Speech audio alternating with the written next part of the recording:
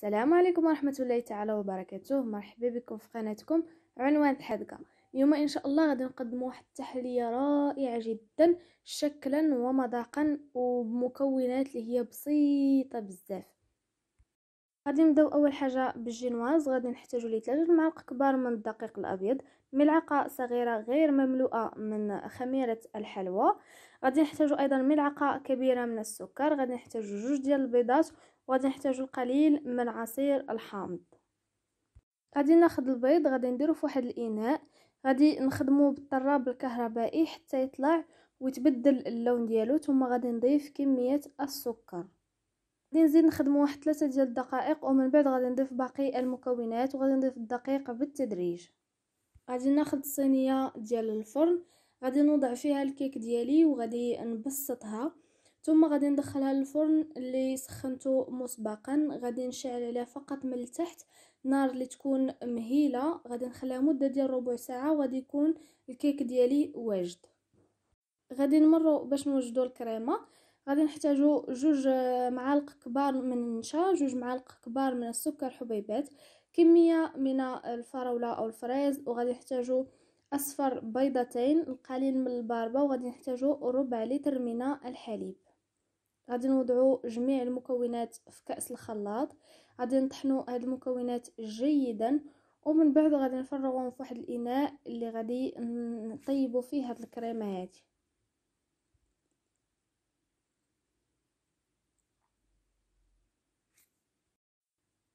غادي نحطها على نار متوسطة مع الاستمرار في التحريك حتى تشكل ليا الكريمة ديالي. غادي ناخدها غادي نفرغها في واحد الإناء غادي نغطيها بالبلاستيك الغذائي. بالنسبة للبلاستيك الغذائي يكون مباشرة قيس لينا الكريمة باش ما تشكلش لينا آه، فيها واحد القشرة وغادي ندخلوها للثلاجه حتى تبرد.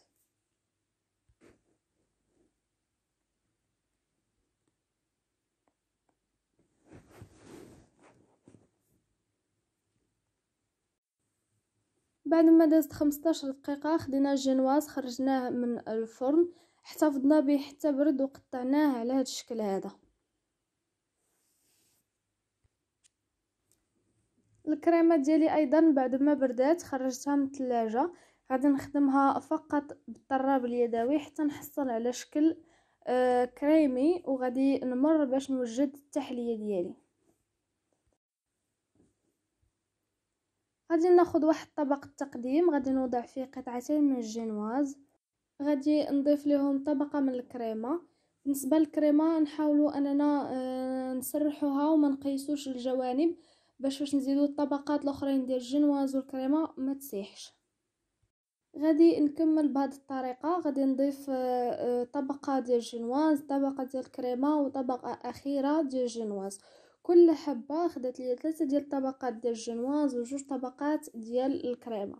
بالنسبة للمقادير اللي خدمنا عطاوني خمسة ديال الحبات ديال هاد آه، التحلية هادي.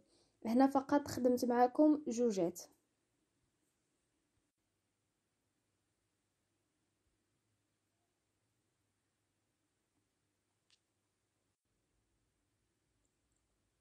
إذا هنا ساليت التشكيل ديال التحلية ديالي الان غادي نمروا لمرحلة التزيين. التزيين تيبقى اختياري. أنا رشيتهم فقط بالسكر كلاصي وزينت كل وحدة فيهم بجوج حبات من الفراولة وأيضا زينت طبق التقديم بجوج حبات من الفراولة. وهذا هو الشكل النهائي ديال التحلية ديالي. تتجي بشكل راقي ورائع تنتمنى أنكم تجربوها وكنتمنى أنكم تدعموني. باللايكات وبالاشتراك في القناة وإلى اللقاء في فيديو القادم إن شاء الله.